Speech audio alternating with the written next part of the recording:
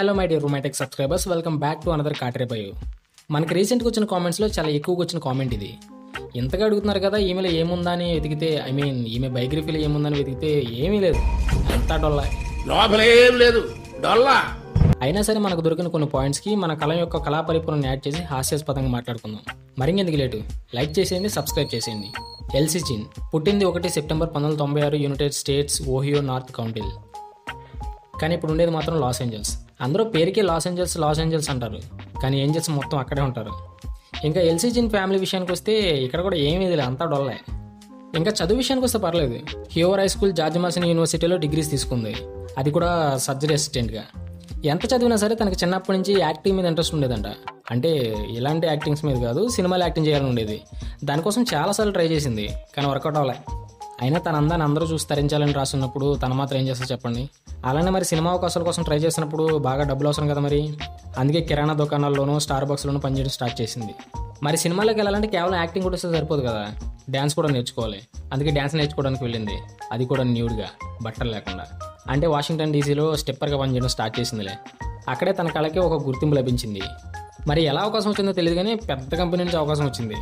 అంటే ఏదైనా యాక్టింగే కదా అనుకుందో లేదా బొక్క ఎందులో యాక్టింగ్ చేస్తే ఏందులో అనుకుందో ఏమో తెలియదు కానీ పద్దెనిమిది సంవత్సరాల వయసులో రెండు వేల పదిహేను జూన్లో హార్డ్ కోర్ ఫేమ్ కంపెనీతో చేతులు కలిపి అంటే తర్వాత చాలా కలిపింది అనుకోండి.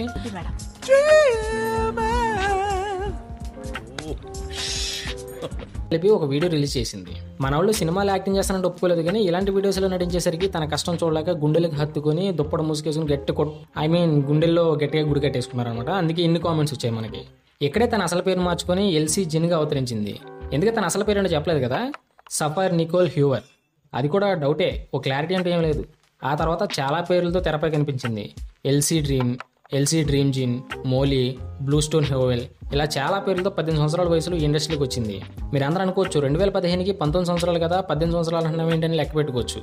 అలా లెక్క పెట్టుకోండి ఎందుకంటే తన పుట్టిన సెప్టెంబర్లో తన ఇండస్ట్రీకి వచ్చింది మాత్రం జూన్ నెలలో.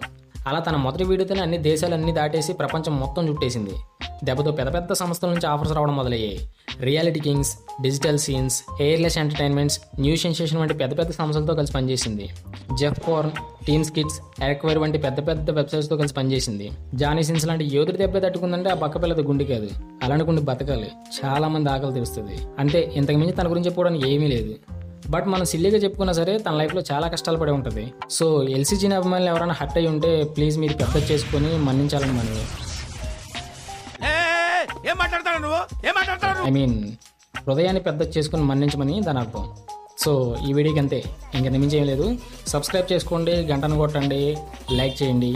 బాయ్ బాయ్ మళ్ళీ కలుద్దాం.